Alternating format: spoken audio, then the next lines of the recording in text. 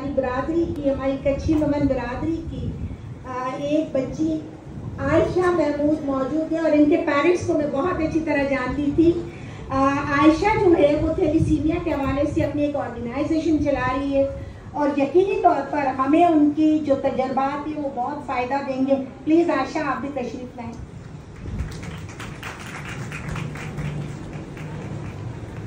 बहुत शुक्रिया। कि जो थैलीसीमिया है जैसी मोरिसी बीमारी में ना सिर्फ़ खुद जंग लड़ रही हैं बल्कि इस बीमारी के शिकार बच्चों के लिए भी अपनी कोशिशें कर रही हैं। मैं यहाँ बात कर रही हूँ मैं आयशा महमूद जिनका ताल्लुक कच्ची मेहमान बरदरी से है।